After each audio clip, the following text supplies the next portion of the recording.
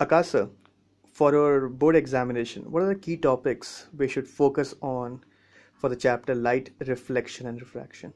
Yeah, so these are the three important topics.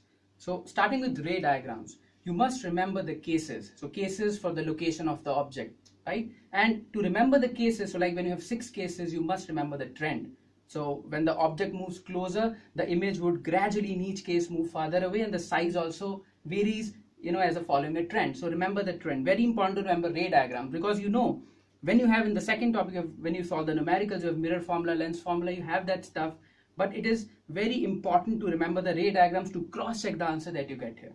Sign convention, very important. For a real object, U is always negative and whether you have a lens or a mirror, if it's a convex one, focal length is always going to be positive. Also take care that you remember in the lens formula you have a minus sign and in the mirror formula you have a plus sign. Don't make a mistake there. Lastly, when we talk about refraction, you must uh, remember the Snell's law and a very easy way to apply that. You go from medium 1 to medium 2. When you have to write down the Snell's law, that equation, the first medium refractive index, the sine of angle of that medium equal to the same thing on the other side. This way you'll never make a mistake. And when you have to know whether the light ray will bend towards the normal or away from the normal, remember DRA, draw. Going from denser to rarer, the ray bends away from the normal and vice versa.